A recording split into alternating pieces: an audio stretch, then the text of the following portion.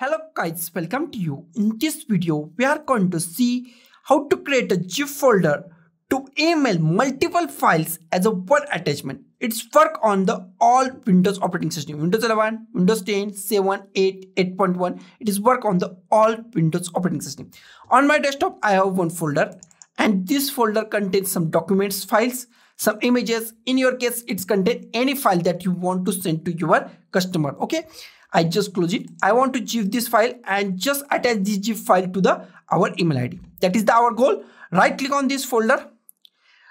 Click on the show more. If you're using Windows 11, then click on the show more options. And if you're using Windows 10, then directly go to the send to. Okay. In send to, we find compressed zip folder. Compressed zip folder. Click at here and in few seconds this kind of box is created or the new folder is created. It is actually a zip file. You can give any name. I give my zip.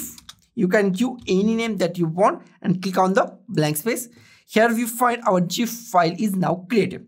Now just go to the our email id or the email. And here i just give the attachment. I click on this attachment attach file.